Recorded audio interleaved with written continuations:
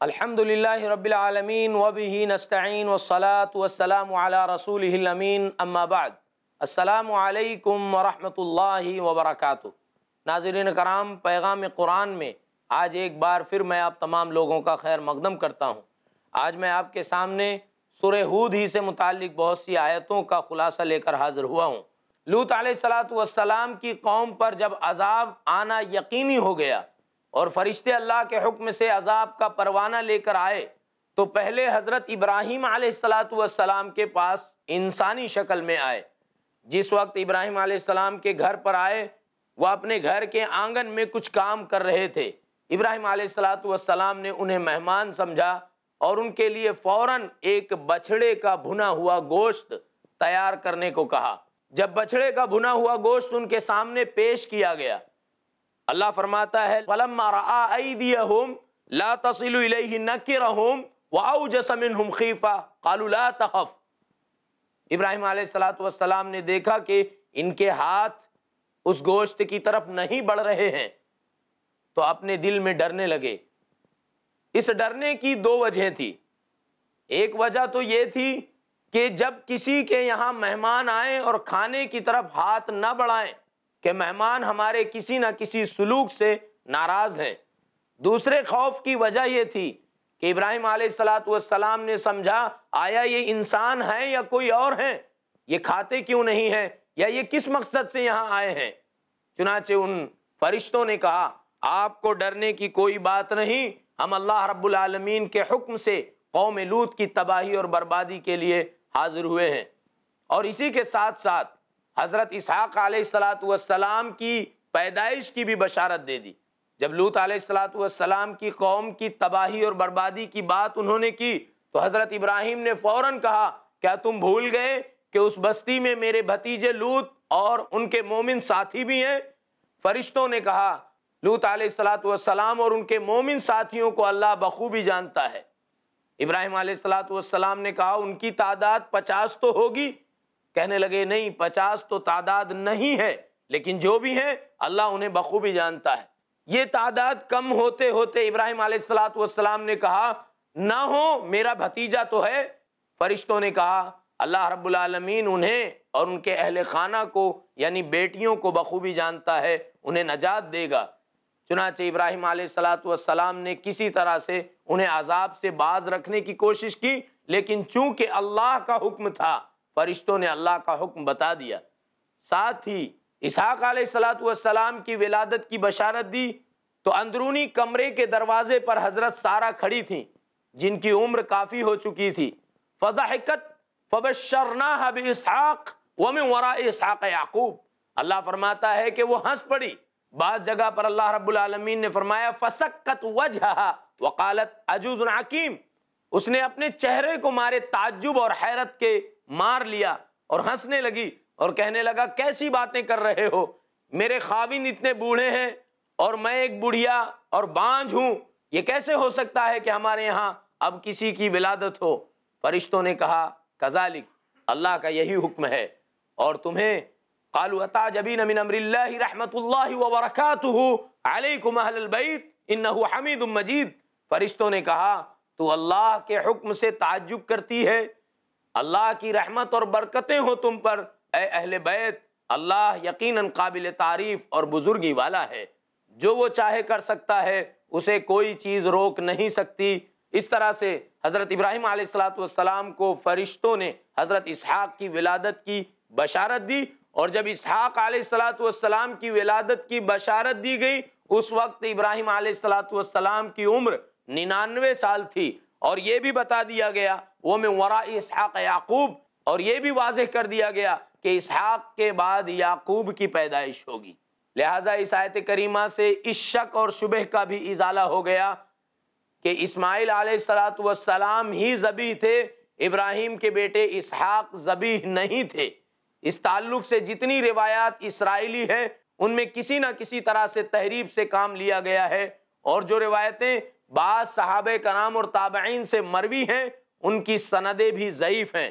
حاصل کلام یہ ہے کہ اگر اسحاق علیہ السلاۃ والسلام زبی ہوتے، تو اللہ رب العالمین اسحاق کی ولادت کے ساتھ ان کی ضروریت اور نسل کی بشارت ہرگز نہیں دیتا۔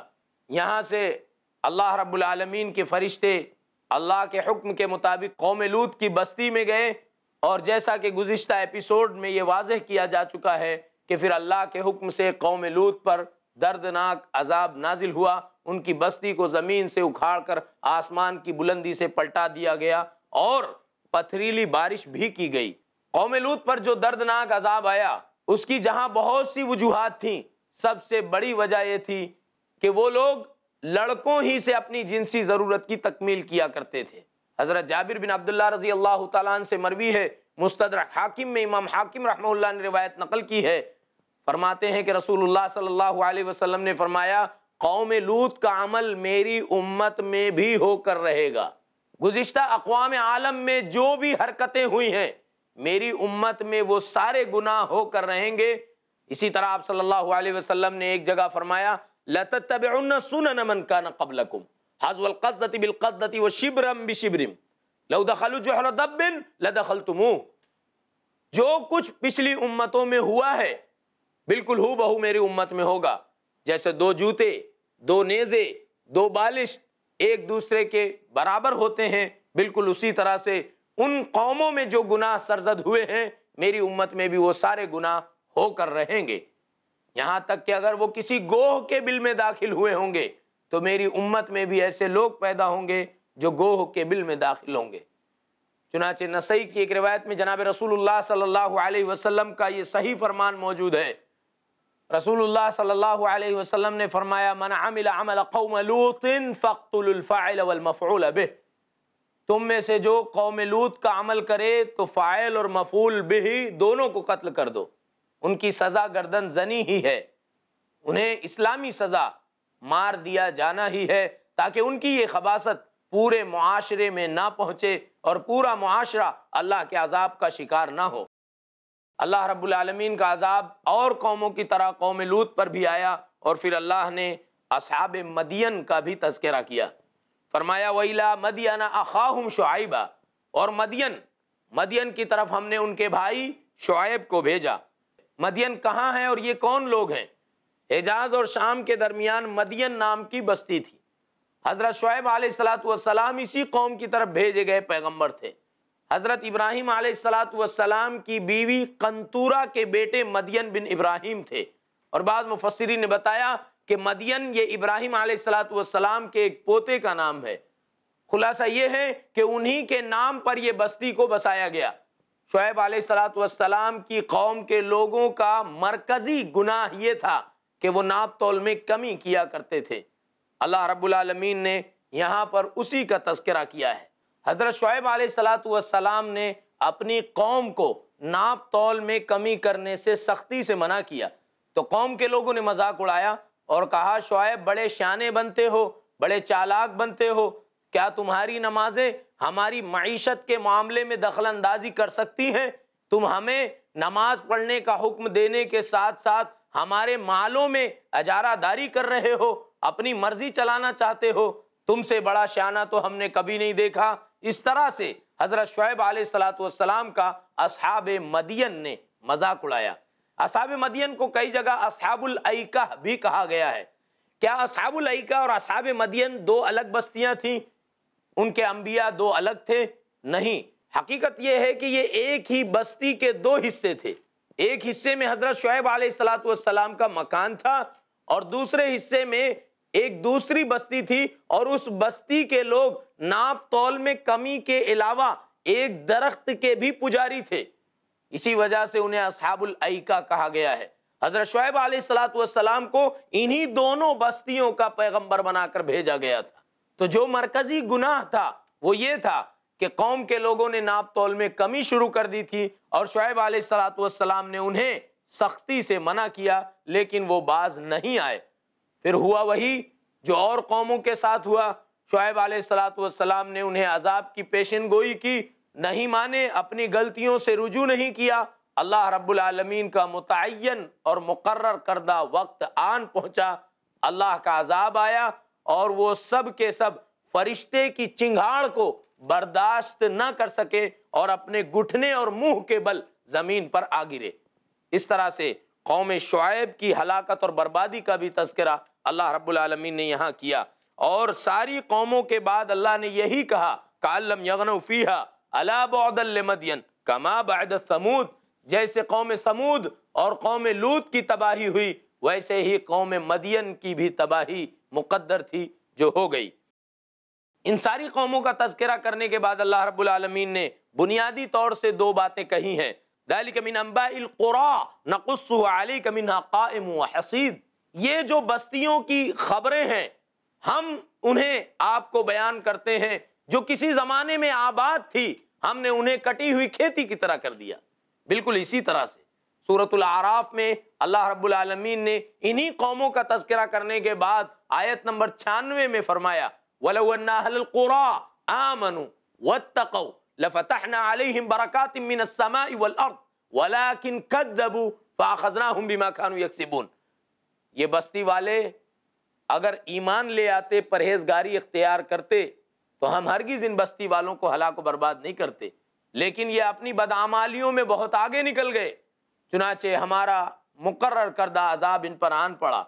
اللہ رب العالمین نے فرمایا فامن اہل القرى ان یاتیہم باسنا بیاتا وهم او امن اہل القرى ان یاتیہم باسنا مکر اللہ فلا یامن مکر اللہ الا القوم الخاسرون۔ کیا بستی والے آج بھی جب قرآن کا نزول ہوا تب اللہ رب العالمین نے مخاطب کیا اور قیامت تک کی ساری بستیوں سے یہ خطاب ہے کہ آج بھی بستی والے اس بات سے بے خوف ہیں کہ وہ رات میں آرام کریں اور اللہ رب العالمین کا عذاب نہیں آئے گا۔ وہ اپنے کاموں میں مصروف ہوں، ان کے بچے میدانوں میں کھیل رہے ہوں اور اللہ کا عذاب نہیں آئے گا۔ کیا اس بات سے بالکل مطمئن اور بے خوف ہیں؟ ایسا نہیں ہے۔ افامین مکر اللہ اللہ کی تدبیر سے جو مطمئن ہو گئے، وہ سب سے زیادہ خسارہ اٹھانے والوں میں سے ہیں۔ ایک حدیث شریف فرماتے ہیں کنت عاشرت عشرت راحت من المہاجرین اذا اقبل علینا رسول اللہ صلی اللہ علیہ وسلم بوجہ وقال، خمس خسال اعوذ باللہ ان تدرکوہن۔ پانچ خصلتیں ایسی ہیں۔ میں پناہ مانگتا ہوں اللہ کی کہ تم ان پانچ خصلتوں کا شکار ہو۔ کیونکہ جب کوئی قوم ان پانچ خصلتوں کا شکار ہوگی تو اللہ کا عذاب اس قوم پر آنا یقینی ہوگا۔ چنانچہ رسول اللہ صلی اللہ علیہ وسلم نے وہ جو پانچ خصلتیں بتائیں، گزشتہ قوموں کا جو تذکرہ گزرا، قوم لوت قوم عاد، قوم سمود اسی طرح سے قوم شعیب، ان ساری قوموں میں یہ ساری خصلتیں پائی جاتی تھیں۔ نبی صلی اللہ علیہ وسلم نے صحابہ کرام کو خصوصی تلقین کی اور فرمایا ما ظهرت الفاحشة في قوم اعلنوا بها الا ابتلوا بالتواعين والاوجاع التي لم تكن في اسلافهم الذين مضوا۔ جس کسی بستی میں فحش اور برائی کھل کر سامنے آئے گی، لوگ غریانیت کا مظاہرہ کریں گے، ننگا ناچ عام ہو جائے گا، برائی کے سارے کام ڈنکے کی چوٹ پر ہونے لگیں گے۔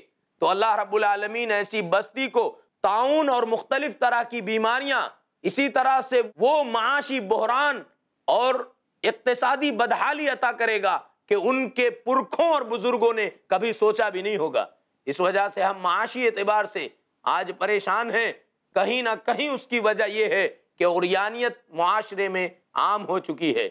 جو ہمارے پرکھوں نے کھایا اور ہر طرح سے خوشحال اور آسودہ رہے، آج ہم ان چیزوں کو ترس رہے ہیں۔ اس کی وجہ یہ ہے کہ معاشرتی بےحودگی بے شرمی عام ہو چکی ہے۔ دوسرے گناہ کی طرف اشارہ کرتے ہوئے اللہ کے پیغمبر صلی اللہ علیہ وسلم نے فرمایا، ولا نقصكم من المكيال والميزان الا ابتلوا بالسنين وشده المؤونه وجور السلطان۔ جب کسی قوم میں ناپ تول کی کمی آئے گی، تو تین طرح کا عذاب آئے گا۔ بھوک مری آئے گی، قحط سالی آئے گی۔ شدت المعونہ بہت زیادہ محنت کرنے کے بعد کچھ چیزیں حاصل ہوں گی۔ وجور السلطان ظالم و جابر بادشاہوں کا جبر و استبداد ہوگا۔ تیسری بات اللہ کے نبی علیہ السلام نے فرمائی، وما منع قوم زکاة اموالهم الا منع القطر من السماء ولولا البهائم لم يمطروا جب کوئی قوم اپنے مال کی زکات روک لے گی، تو اللہ رب العالمین آسمان سے بارش کو روک لے گا۔ اور اگر زمین میں یہ کیڑے مکوڑے، حشرات الارض اور چرند پرند نہیں ہوتے، تو ایسی زکات نہ دینے والی قوم کو اللہ ایک قطرہ پانی بھی نہیں دیتا۔ آج ہم پر وقفے وقفے سے بارش کا نزول اس بات کا غماز ہے کہ ہمارے سجدے اور ہماری رکو اس لائق نہیں ہے کہ بارش ہو، بلکہ یہ چرند پرند اور کیڑے مکوڑوں کی رہین منت ہے کہ اللہ رب العالمین وقفے وقفے سے بارش برساتا ہے۔ ورنہ زکوٰۃ روکنے والی اور زکوٰۃ کے بارے میں ہیلا اور بہانہ کرنے والی قوم کو اللہ رب العالمین آسمان سے ایک قطرہ پانی بھی دینا نہیں چاہتا۔ چوتھی چیز اللہ کے نبی علیہ السلاۃ والسلام نے فرمائی ولا خفر قوم العہد اللہ صلت اللہ علیہم عدو من غیرہم فاخذوا بعد ما فی ایدیہم جب کوئی قوم وعدہ خلافی کرنے لگے، عہد شکنی کرنے لگے، زبان دے کر پھرنے لگے، تو اللہ رب العالمین دوسری قوموں کا دشمن ان پر مسلط کرتا ہے۔ اگر انہی کی قوم کا رہے گا، تو شاید اسے کسی مرحلے میں رحم آ جائے۔ لیکن اللہ رب العالمین دوسری قوم کا دشمن، ایسا دشمن مسلط کرتا ہے جس کا منہج اور عقیدہ یہ بن جاتا ہے کہ وہ انہیں کاٹنے اور ختم کرنے کو اپنا دین اور مذہب سمجھتا ہے۔ تو یہ عہد چکنی، وعدہ خلافی کا اللہ رب العالمین کی طرف سے دستور اور قانون ہے۔ یہ عہد عہد چکنی اور وعدہ خلافی کا اللہ رب العالمین کی طرف سے عذاب ہے، جو اللہ کا آسمانی قانون ہے۔ پانچویں چیز اللہ کے رسول صلی اللہ علیہ وسلم نے بتائی، وَمَا لَمْ يَعْمَلْ أَئِمَّتُهُمْ بِكِتَابِ اللَّهِ وَسُنَّةِ رَسُولِهِ إِلَّا جَعَلَ اللَّهُ بَأْسَهُمْ بَيْنَهُمْ جب کسی قوم کے اسکالرز، جب کسی قوم کے علماء اللہ کی کتاب اور اپنے پیغمبر کی باتوں کو، سنتوں کو چھوڑ کر من مانی شریعت پر عمل کرنے لگیں تو اللہ رب العالمین ان کے درمیان اختلاف و انتشار پیدا کر دیتا ہے۔ ایسا اختلاف و انتشار، ایسی دراڑیں جو ان کے درمیان کبھی اتحاد کا سبب نہیں بن سکتی۔ اس وجہ سے آج سارے تقاضوں کے باوجود ہم منتشر ہیں۔ آج ہم اختلاف و انتشار کا شکار ہیں۔ تو اس کی سب سے بنیادی وجہ یہ ہے کہ ہم نے اللہ کی آسمانی کتاب اور جناب رسول اللہ صلی اللہ علیہ وسلم کی شریعت متحرہ کو نظر انداز کیا ہے۔ اور یہ بات تو اللہ کے نبی صلی اللہ علیہ وسلم نے پہلے بتا دی تھی۔ تو یہ جن چیزوں کا تذکرہ اللہ کے نبی صلی اللہ علیہ وسلم نے کیا ہے، آیت میں بھی اللہ رب العالمین نے قوموں کے عذاب کا تذکرہ کیا ہے۔ اس کا مطلب یہ ہے کہ اگر وہ ساری خصلتیں اور عادتیں آج کے کسی معاشرے میں اور کسی بستی میں ہوں گی، تو کیا ممکن نہیں ہے کہ اللہ رب العالمین کا عذاب آئے؟ یقیناً اللہ کا قانون، اللہ کی قدرت آج بھی ویسے ہی قائم ہے۔ اللہ کا عذاب آج بھی آ سکتا ہے۔ اسی طرح سے امام بخاری رحمہ اللہ نے حضرت ابو موسا اشعری رضی اللہ تعالیٰ عنہ سے روایت کی ہے وہ فرماتے ہیں کہ جناب رسول اللہ صلی اللہ علیہ وسلم نے فرمایا ان اللہ الظالم فَإِذَا أَخَذَهُ لَمْ يُفْلِتْهُ اللہ ظالم کو ایک مخصوص وقت تک ڈھیل دیتا ہے۔ لیکن جب اللہ کی گرفت آتی ہے تو پھر کوئی موقع باقی نہیں رہ جاتا۔ اس کے بعد اللہ کے نبی نے اسی آیت کی کریمہ کی تلاوت کی۔ وَكَذَلِكَ أَخْذُ رَبِّكَ إِذَا أَخَذَ الْقُرَى وَهِيَ ظَالِمَ إِنَّ أَخْذَهُ عَلِيمٌ شَدِيد۔ اسی طرح اللہ کا قانون ہے، جب کسی بستی کی گرفت کرتا ہے تو ساری آہ و بکا ساری چینک و پکار دھری کے دھری رہ جاتی ہیں۔ اللہ کا عذاب یقینی طور سے آتا ہے۔ تو اس سورہ میں اللہ رب العالمین نے ہلاک و برباد ہونے والی قوموں کا تذکرہ کیا ہے۔ اسی طرح سے اللہ رب العالمین نے اگلی آیت کریمہ میں اپنے پیغمبر صلی اللہ علیہ وسلم کو نماز کی پابندی کا حکم دیتے ہوئے فرمایا، وَأَقِمِ الصَّلَاةَ طَرَفَ النَّهَارَ وَزُلَفًا مِّنَ اللَّيْلِ يُذْهِبْنَ السَّيِّئَاتِ۔ کہ دن کے دونوں پہروں میں آپ نماز کا اہتمام کریں، صبح شام اسی طرح سے رات کے مخصوص حصوں میں نماز کا اہتمام کریں۔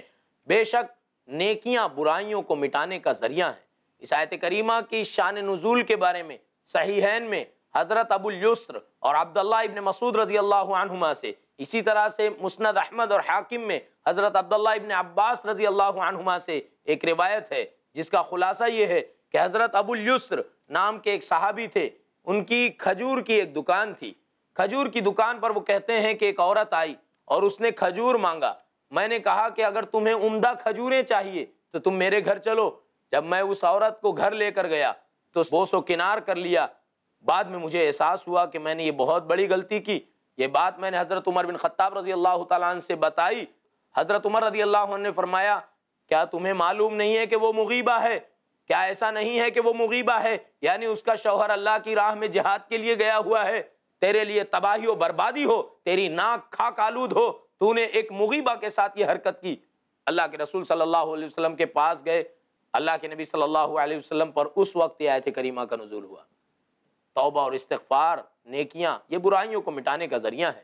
یہی بات امام مسلم رحمہ اللہ نے حضرت ابو حریرہ رضی اللہ تعالیٰ عنہ سے نقل کی ہے کہ رسول اللہ صلی اللہ علیہ وسلم نے فرمایا، الصلوات الخمس والجمعات الى الجمعہ ورمضان الى رمضان مکفرات لما بینہن اذا اجتنب الکبائر رمضان سے رمضان کے درمیان، جمعہ سے جمعہ کے درمیان، اسی طرح سے نماز، پانچوں نمازیں اپنے درمیان کے صغیرہ گناہوں کا کفارہ ہیں۔ تو نیکیاں برائیوں کو مٹانے کا ذریعہ ہیں۔ یہ بھی اللہ رب العالمین نے بتایا۔ اور اس سورہ کے اخیر میں اختلاف و انتشار کے بارے میں اللہ نے فرمایا، وَلَوْ شَاءَ رَبُّكَ لَجَعَلَ النَّاسَ أُمَّةً وَاحِدًا وَلَا يَزَالُونَ مُخْتَلِفِينَ۔ اللہ چاہتا تو زمین میں اختلاف ہوتا ہی نہیں۔ یہ برابر اختلاف کرتے رہیں گے سوائے ان لوگوں کے جن پر اللہ کی رحمت ہو، جن پر تیرے رب کی رحمت ہو۔ معلوم یہ ہوا کہ اختلاف رحمت نہیں ہے، بلکہ یہاں اللہ فرماتا ہے کہ اختلاف سے وہی بچ سکتے ہیں جن پر تیرے رب کی رحمت ہو۔ جن پر اللہ کی رحمت ہوگی، وہ اختلاف نہیں کر سکیں گے۔ سورہ کے آخر میں اللہ کے نبی صلی اللہ علیہ وسلم کو تسلی دی گئی اور توکل کی تلقین کی گئی۔ اور یہ کہا گیا کہ اللہ ان کے عملوں سے غافل نہیں ہے۔ ناظرین کرام، یہاں پر سورہ ہود ختم ہوئی۔ سورہ ہود کا مرکزی پیغام یہی ہے کہ ہم گناہوں سے بچیں، ان تمام اعمال سے بچیں جو عذاب کا موجب ہیں۔ اللہ رب العالمین پر بھروسہ کریں، صبر کریں اور ایمان پر قائم رہیں۔ اللہ ہمیں دین کی، قرآن کی صحیح فہم عطا فرمائے۔ آج کا ہمارا وقت یہیں پر ختم ہوا۔ انشاءاللہ اگلے ایپیسوڈ میں سورہ یوسف کا خلاصہ لے کر میں آپ کے روبرو حاضر ہوں گا۔ تب تک کے لیے اجازت دیں۔ السلام علیکم ورحمۃ اللہ وبرکاتہ۔